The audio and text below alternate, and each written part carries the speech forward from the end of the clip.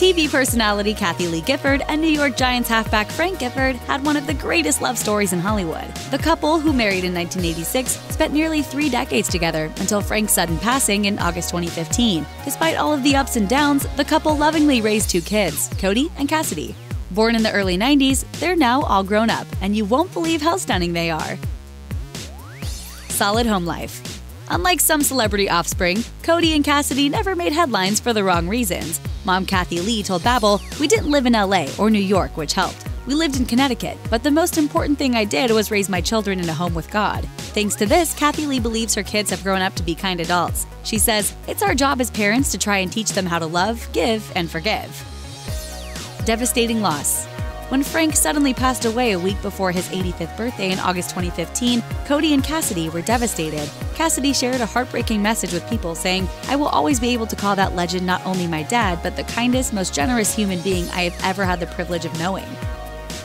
All in the family, Given that he grew up with a famous football player dad, it's no real surprise that Cody chose to follow suit. While playing for the University of Southern California, Cody described his dad as being his biggest inspiration and role model, telling people, The great New York Giants co owner Wellington Mara once called dad the son any father would love to have and the father any son would be proud to have. He was right.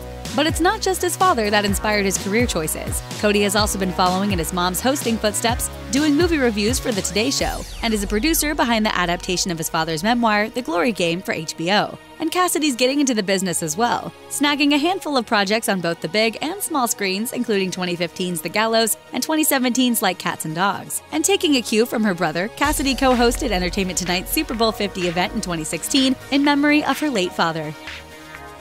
Giving back.